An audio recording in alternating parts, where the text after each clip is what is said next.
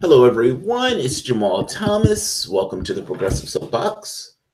Guys, I have with me an awesome guest and an awesome interview for today.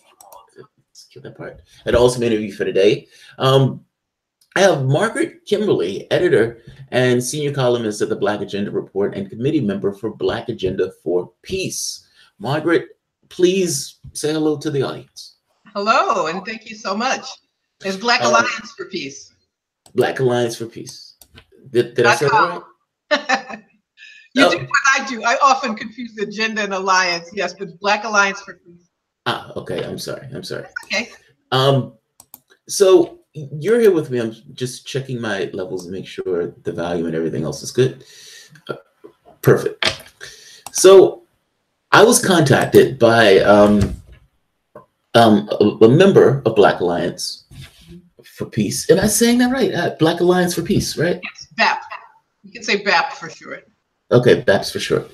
Um, about a, an initiative that you guys were starting called Get Out of Africa, essentially get the United States out of Africa. Before we get to that point, I kind of want to step through just to establish a few things. Um, now, what is BAP? I guess BAP works on both ends, but what is um, the organization? Black Alliance for Peace was uh, founded on April 4th, uh, 2017. And uh, that date is a very significant one.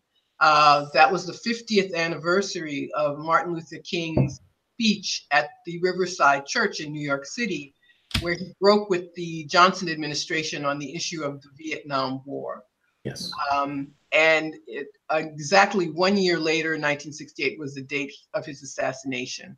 And he was assassinated, I believe, and others, in large part because he had taken this uh, anti war stance. Uh, in the face of terrible criticism, everybody loves him now. Yeah. he was vilified by the New York Times, by the Washington Post, by the networks, by some people in the SCLC, including his own father and friends who said this is not the time johnson is our friend you you know you don't want to tick him off. But he courageously did the right thing and was consistently anti-war from that day forward. Uh, and so that date was chosen uh, for the founding of black alliance for peace. We are a people-centered black-led movement. Uh, we believe that it is very important to recapture that uh, um, anti-war polity that until fairly recently that was always consistent among our people.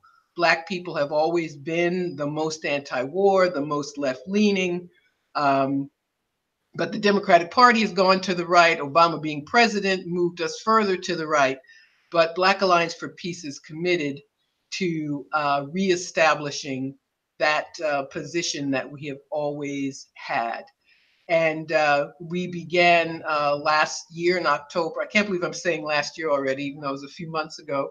Uh, October 1st, we began our um, campaign to uh, end AFRICOM and get the United States out of the African con- continent and end U.S. Uh, uh, military role in any African nation. I'm glad you mentioned the Martin Luther King thing. Um, like you said, people try to associate themselves with this behavior now like oh we love king. They hug him like nobody's business. Mm-hmm. um, but yeah that wasn't when martin luther king stepped out of the vietnam people were like why is this negro talking about um, these war issues? He's supposed to be dealing with the issues of blacks in america. Um, what was king's reasoning for this? I, I I, mean, I'm, I'm, doing an interview, and people always chide me that you know you never let your interview person or your interview talk. What was his reason for this? And was this um, necessary to understand now? Meaning, um, the reason why King stepped out from the standpoint of war and how he connected the issues of war and imperialism abroad to the subjugation of African Americans here in the United States? Well, part of it was um, just uh, very practical and obvious. You cannot spend a lot of money on the military and take care of your people. Uh, the needs of people in this country cannot be met. Uh, today, uh, the uh, defense budget is it's 60% of the budget. Yeah. So any talk of uh, and and this is something that um, uh, is a critique of Bernie Sanders and others who they may have domestic policies that we are in favor of and want to see enacted, but you cannot have Medicare for all. You can't have free college. You can't build the infrastructure. Uh, you can't give money to public education. You can't do anything to help people as long as the budget, uh, the military sucks up so much of our money. Uh, and King knew this. He could not say that the government should do more for its people, that we ought to have a democratic society if you always also had uh, this war on the other side of the world, which sucked up millions of dollars. Um, he was also a person, excuse me, he was always an internationalist. He was also always someone who uh, worked for uh, the care of humanity, and warfare is uh, the exact opposite. Uh, we're talking yeah. about uh, uh, terrorism. he said the United States was the greatest purveyor of violence in the world, and here we are 50 years later, and it's still true. So yeah. um, he he said he couldn't care about people in this country, but be indifferent to the plight of people in Vietnam who only wanted to be able to practice self determination and choose the government that they wanted. That was all they wanted. And for the United States to claim a right to invade their country and kill millions of people was wrong. And he said as much very clearly.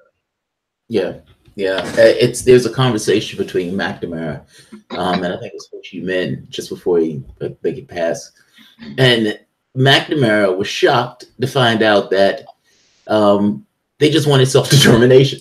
Like, you know, the United States coded as if this was communist takeover Vietnam, and it wasn't it in the least. They just wanted, you know, the ability to choose their own government in this sense.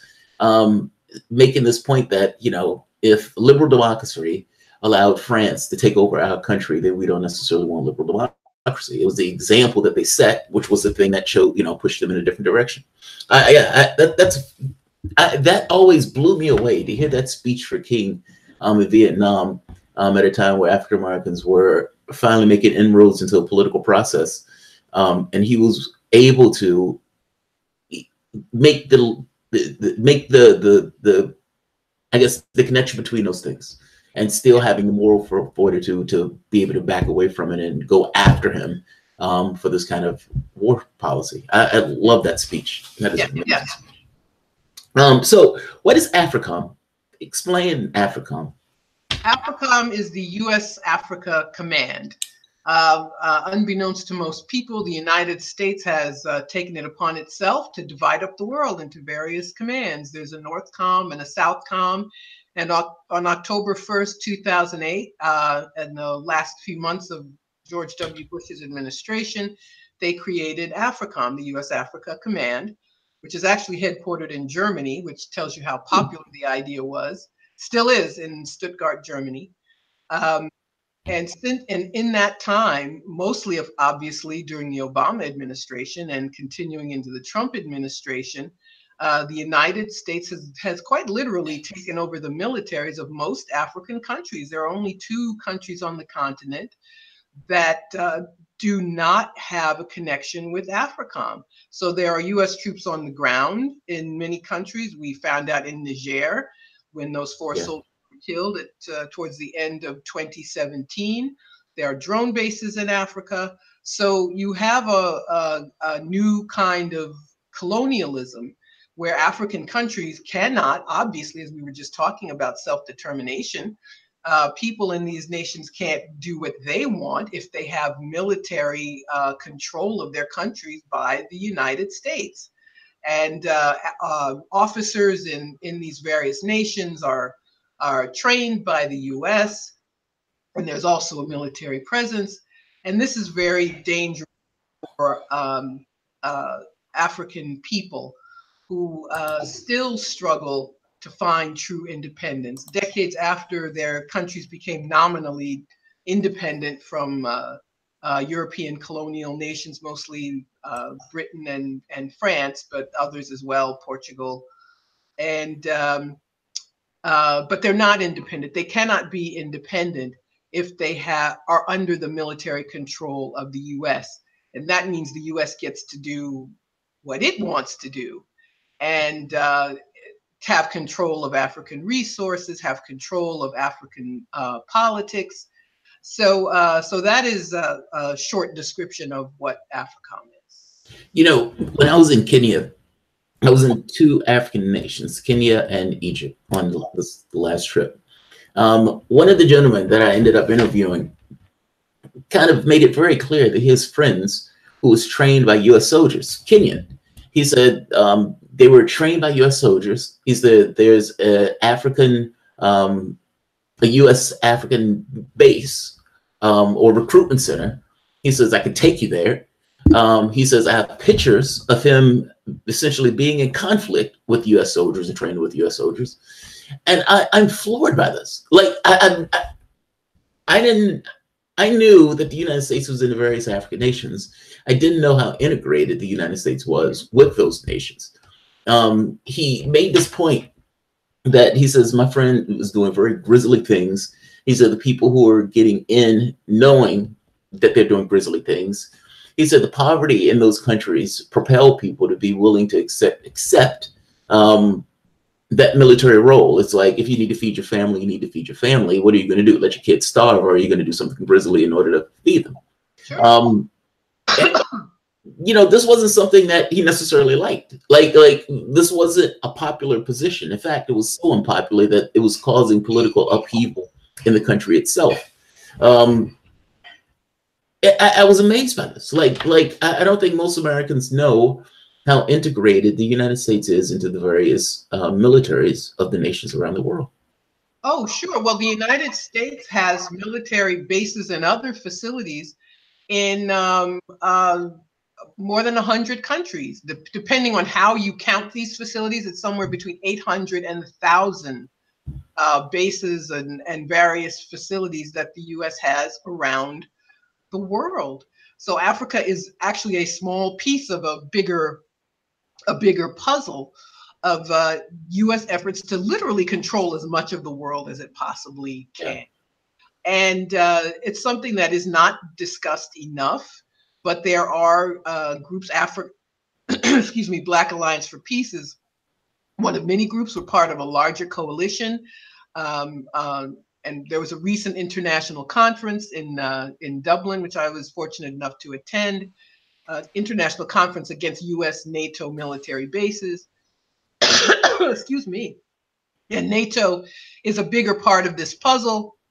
It's not just the United States, but it's uh, NATO partners uh, who have these facilities all over the world and uh, therefore restrict the rights to self-determination of all these uh, countries. And you know, in com- in comparison, Russia has uh, bases in uh, outside of Russia in only nine countries.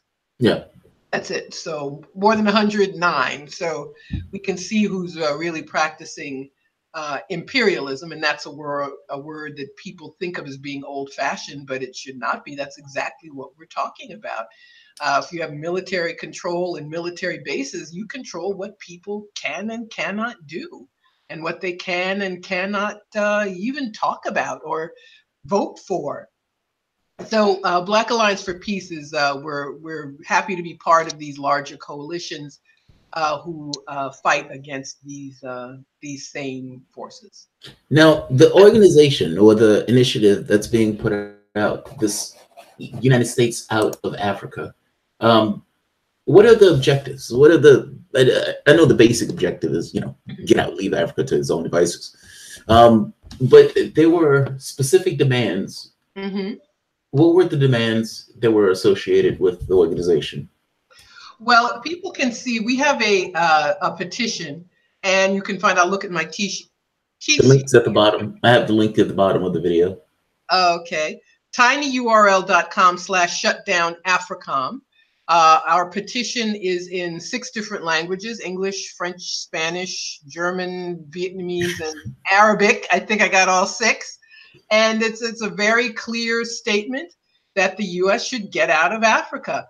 Um, we're also making a demand specifically to the Congressional Black Caucus uh, to take the lead on this issue, to hold hearings. And as where everyone's bragging about the Democrats uh, now uh, having control of the House of Representatives, let's see uh, what that really means.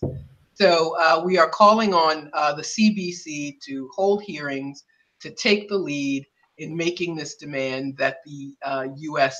leave Africa. And it's part of the connection is larger. Um, uh, your viewers may know about the 1033 program, which brings uh, uh, spare U.S. Um, Defense Department equipment and gives it to police departments. Yeah, that's insane. That's utterly insane. You would have these little towns um, with tanks. it's yeah. like.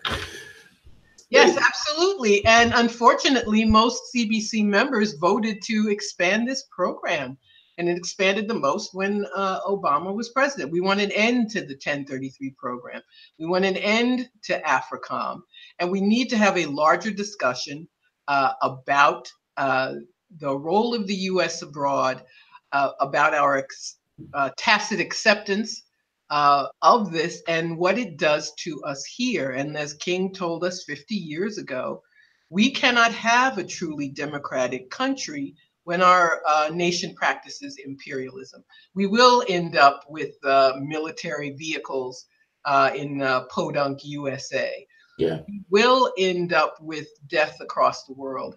We will end up with a um, uh, the military sucking uh, all the money out of the budget and crumbling infrastructure and crumbling schools and people in debt and, and no health care, so on and so on. All of these things, all of our needs could be taken care of if we didn't have this huge military budget. There's enough money in the treasury to take care of all the human needs that people have in this country. But we cannot talk about wanting those things if we do not also talk about international issues, if we do not also talk about AFRICOM and other means of the United States practicing imperialism abroad. We cannot have a real democracy.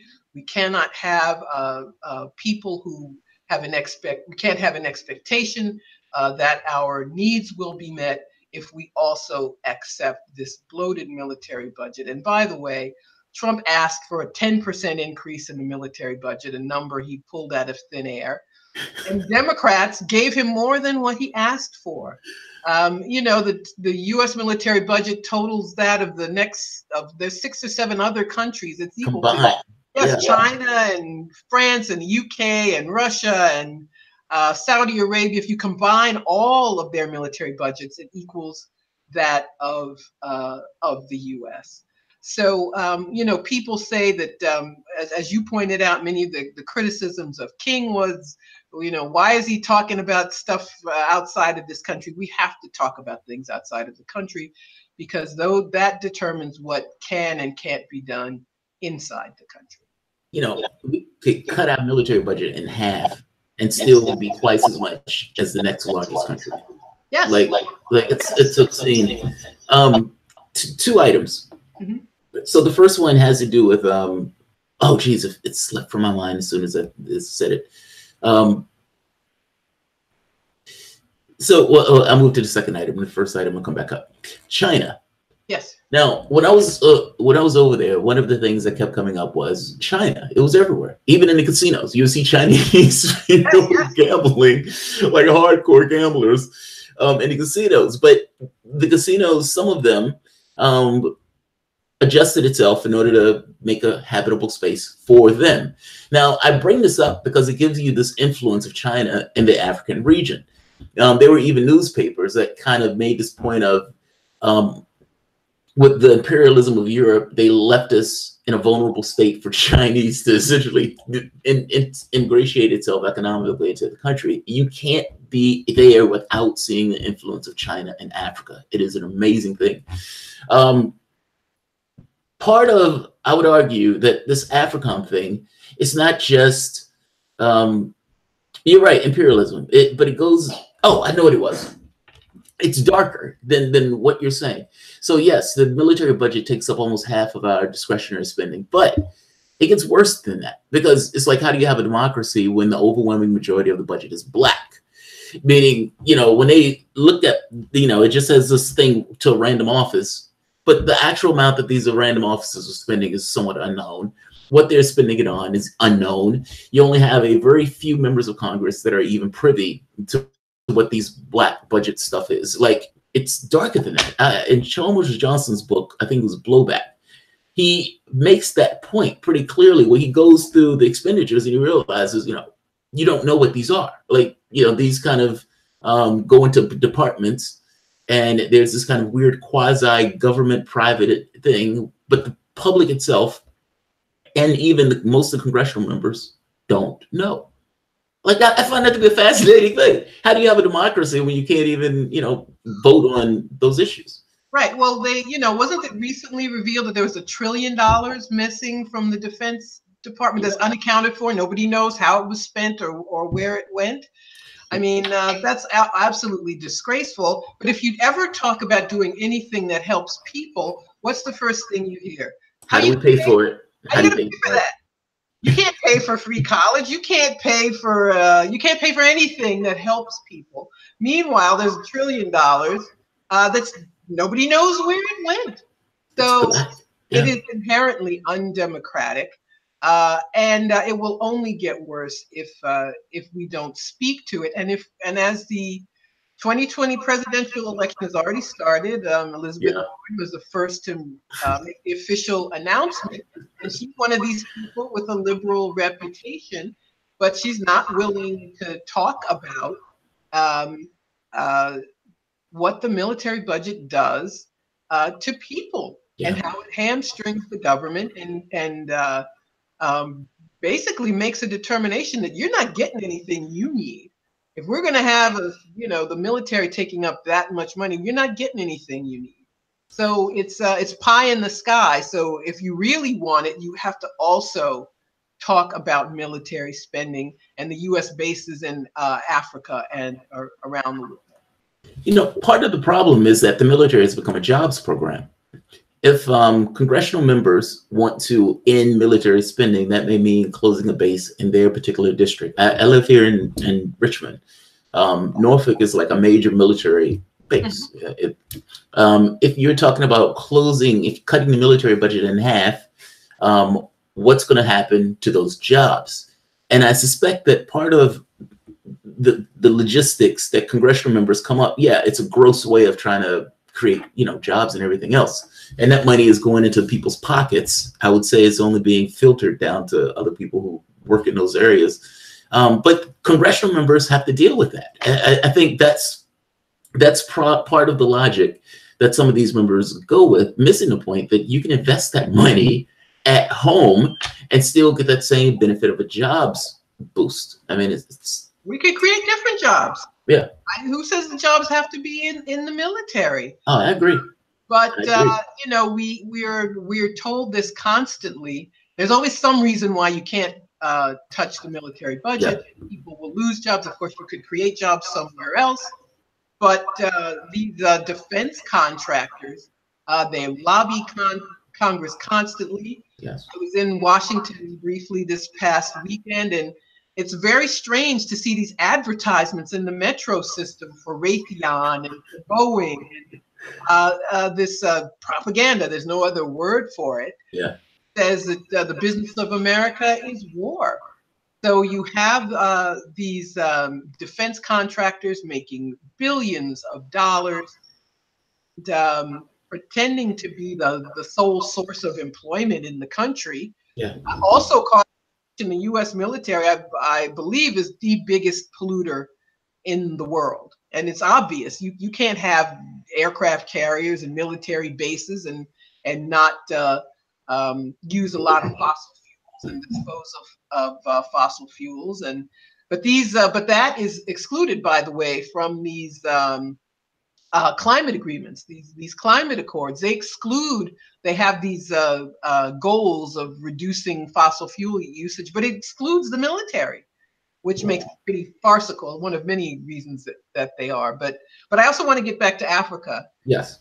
Um, because since we began our U.S. out of Africa campaign on October 1st, uh, John Bolton, the National Security Advisor, um, gave a speech on, in December, uh, just a few weeks ago, about China.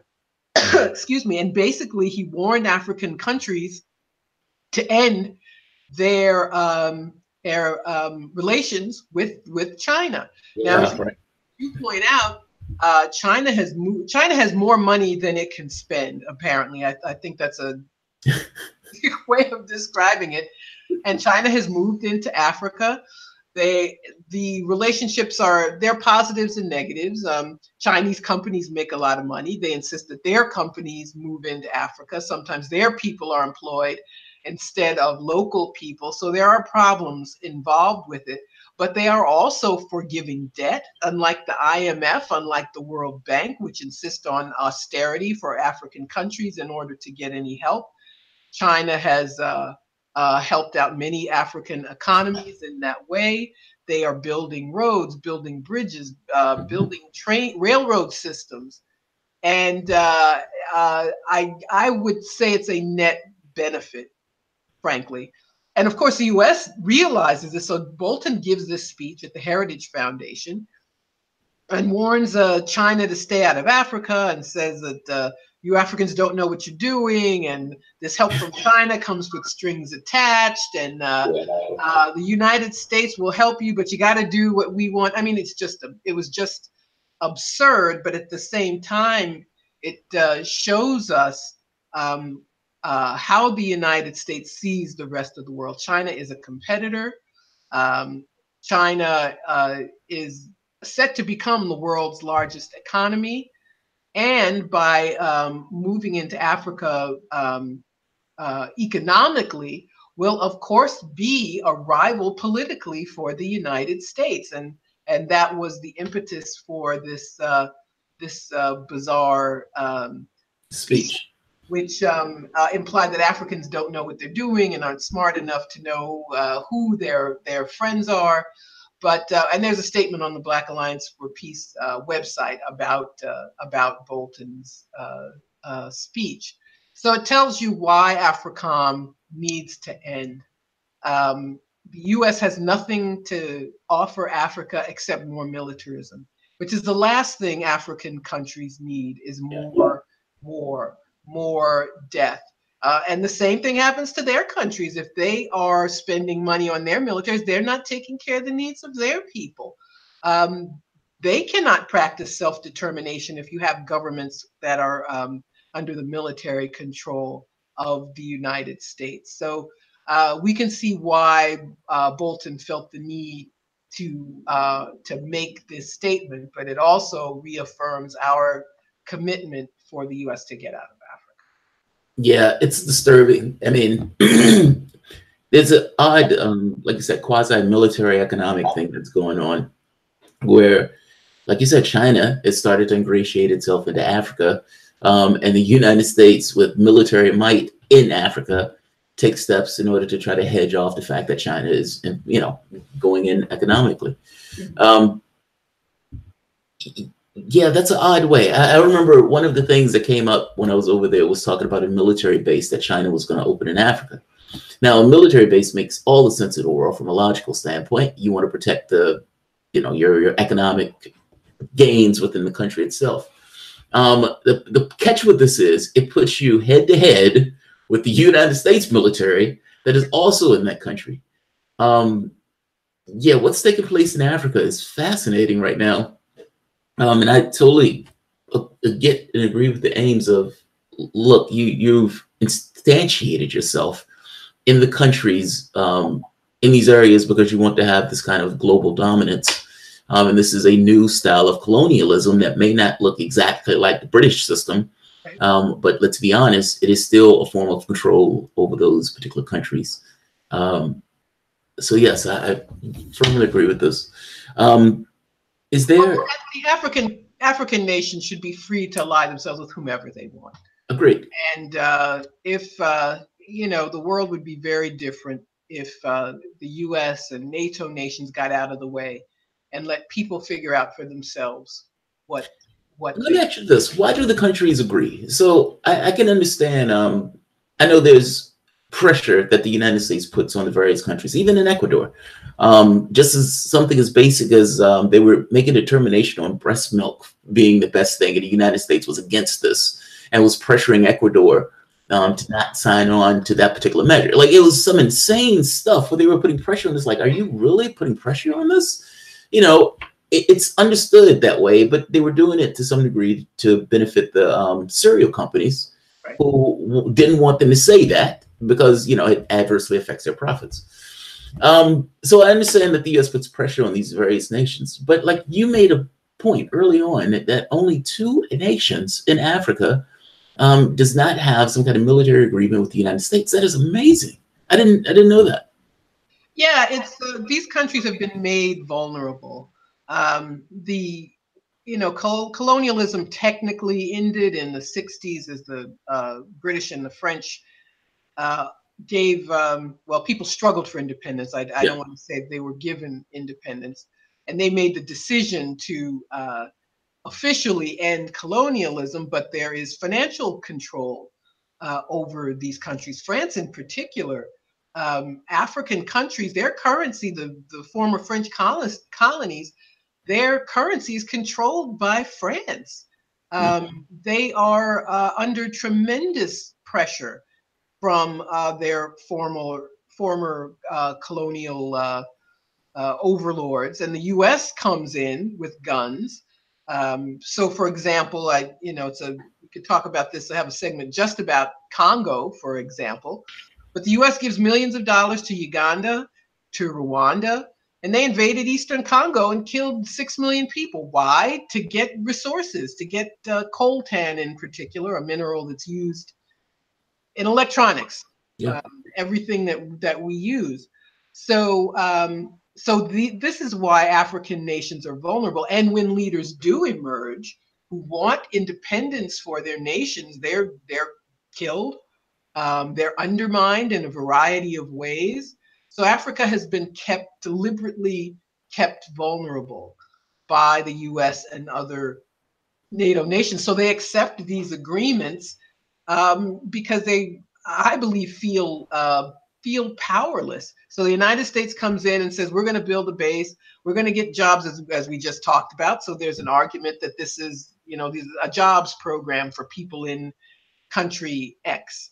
Um, and uh, without any other kind of support, there's a temptation to to yes, accept yes. it, especially when um, the uh, uh, leadership in these countries go along with it and you don't have uh, uh, democratic nations where people have a voice, although I hasten to add, we don't have a democratic nation where people have a voice.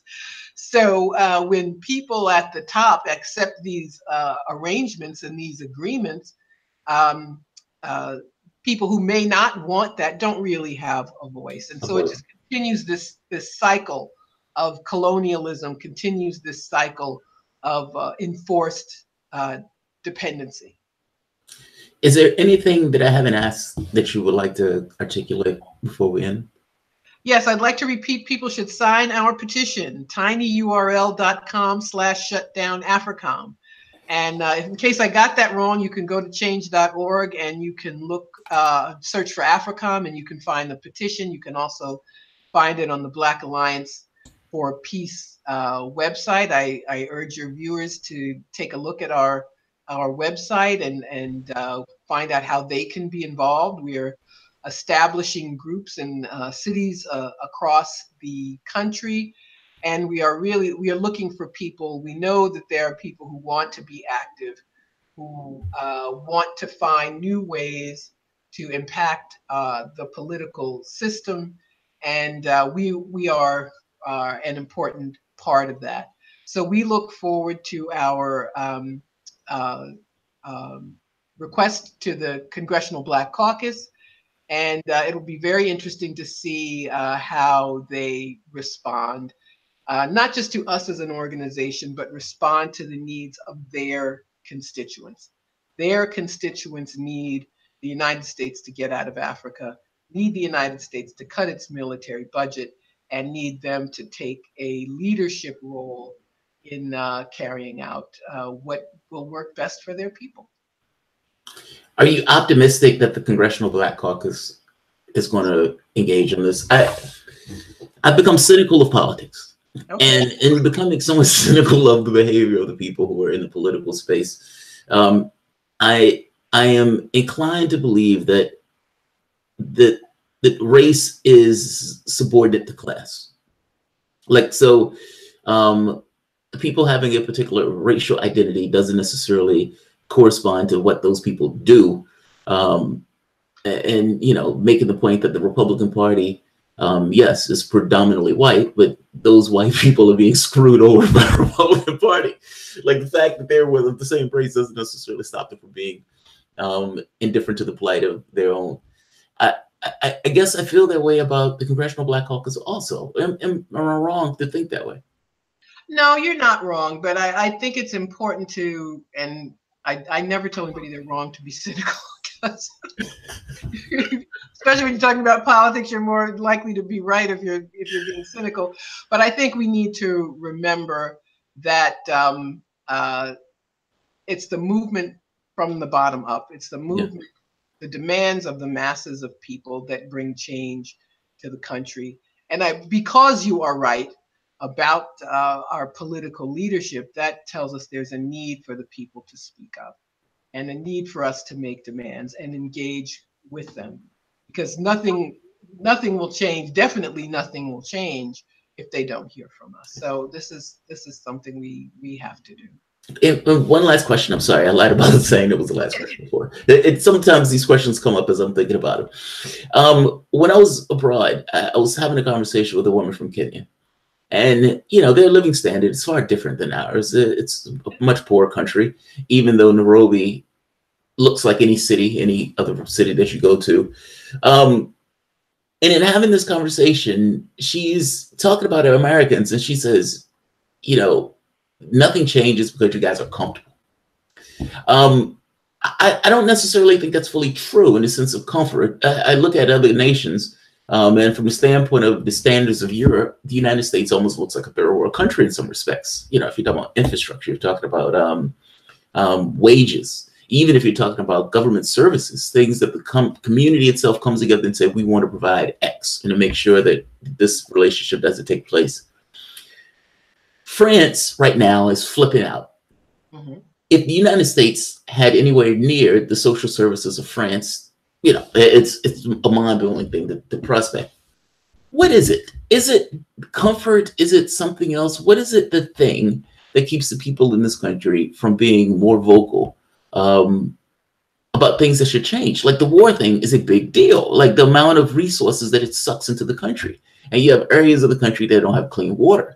You have people who are living on the streets.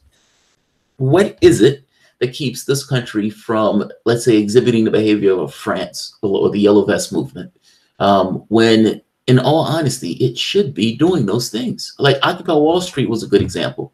Um, what am I missing? What's the thing? What's the thing? Because you're right, nothing changes without push from below. Yeah, I think we, we can never forget that the liberation movement of the 60s and early 70s was crushed it was deliberately crushed by uh, uh, the counterintelligence program, COINTELPRO, yeah. by uh, the assassination of King and uh, people uh, being literally killed off, being made political prisoners. So I think it's important to remember there was a war against these movements because they were successful. Um, so that's something that uh, that we can never forget. Uh, the explosion of the prison population was a way to kill off the movement. When uh, I, I, wrote an article about uh, uh King in the earlier this year, the anniversary of his 50th anniversary of his assassination. When King was alive, there were only 300,000 people incarcerated in the entire country. There are now more than 2 million. It's oh, wow. a sevenfold increase. And that's how you destroy a movement. If you uh, black people, if you put black people in jail, particularly uh, young men in, in prison, that destroys a number, it destroys people politically, financially, destroys family life. So we can't um, uh, underestimate the degree to which our movement was deliberately attacked and destroyed. Um, the uh, people in control, they're not stupid. So they see that people are protesting, they find ways to buy people off, and they open the gates a little bit, let some people through. Um, uh, that uh, decreased the pressure, decreased the demands, because um, uh, legal uh, uh, segregation ended, and that did help some of us. It helped enough of us to take the pressure off. Mm-hmm. Um, the uh, um, political process moved further and further and further to the right. And uh, the Democratic Party, which used to be the party of the people, the party um, that was in favor of equality and justice, has moved further to the right along with it. So we have a far right party and a center right party yeah. controlling our politics. Um, uh, the Occupy movement was very important. It showed it showed how much people want change. Yeah, uh, they they took Occupy out and this leaderless movement thing. I don't think that was a good idea. No, it wasn't. it was not. So I think that was one of the things that uh, uh, uh helped it uh, uh, to disappear. Yeah. And you have people like, and, and as I say again, they're not stupid. They don't just sit around waiting to be destroyed. So they get somebody like Obama who puts a pretty face on imperialism and says the right things. Uh, and um, but he was the Wall Street candidate. Yeah. So he was the candidate of uh, people who claim to be on the left and the candidate of Goldman Sachs at the same time. So uh, I don't think we can underestimate the degree to which there's constant pressure on us not to do these things. And, uh, you know, and, and in general, Americans don't have a lot of class consciousness. So you see people struggling here who identify with the people who oppress them. That's peculiar yeah. American. Um, but uh, I think we can learn from people in, in other parts of the world. And France, people are protesting because France is becoming more like the United States. Yeah. Uh, Macron and some of his predecessors have little by little uh, whittled away at their social safety net, which was much stronger. They are privatizing part of their healthcare system. The EU membership creates uh, incentives for businesses to relocate to lower wage EU countries like Poland, let's say. Yeah. So if a manufacturing entity moves to Poland, well, then that's a loss of uh, living wage jobs for people in France who used to have them. Um, but it's uh, we but we fight against this by moving to the left. There's so much talk about so much misuse of, of words like fascism and socialism and you fight fascism very simply by taking care of people's needs. That's how you fight fascism. Um, uh, and true socialism, I, it's unfortunate that people who are just Democrats have been allowed to call themselves socialists. talk about socialism, public ownership of the means of production. That's what we need to talk about. So Bernie Sanders is not a socialist. Ocasio Cortez is not a socialist. They're just Democrats. And it's very unfortunate and dangerous for us to allow that word to be used uh, so in, incorrectly. But um, that's why we're here to talk about these things and encourage people to start speaking out. And they know that um, people want something different. And that's why, you know, uh, someone, uh, we were talking about Richard Wolff and how you got so many more views, because there are people who know the system doesn't work for them. Uh, so it's, it, but it's, it's, it's difficult in this country. We do have a, you know, we got a, a harder a harder job. Harder but uh, but anyway, we're we're going to move on. Thank you. I appreciate it. And look, I I think that what it's called revolutionary potential is there. I mean, I don't I don't necessarily think the people who were part of Occupy Wall Street just vanished. You know, they the leaderless thing is bizarre. Um, yeah. When you want to get something done, you need to figure it.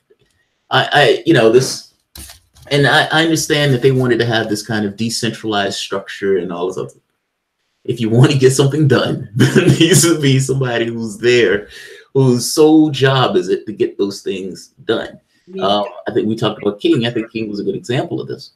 Um, yes, they wanted lefty stuff, but they also needed to know when they needed to fall in line in order to get those things accomplished. Yeah. And, um, and also, we need to we need to talk about these things. These we can learn from there's still people around from from those days in the 60s and 70s who can talk about their experience and tell us what we can do differently. And there's there's going to be struggle and debate. We can't be afraid of that. Yeah. Um, uh, in, in order to uh, come up with um, with plans to move forward and know what actions to take next. Margaret Kimberley thank you very much for coming on to the soapbox. Thank you so much for having me um, all the links are below um, if anyone wants to sign the petition um, and get more information about the essentially get America out of Africa and shut down AFRICOM. So thank you very much. Thank you. All right, guys. If you enjoy the content, please feel free to share, like, subscribe. You can always support the PayPal or Patreon. Thanks all.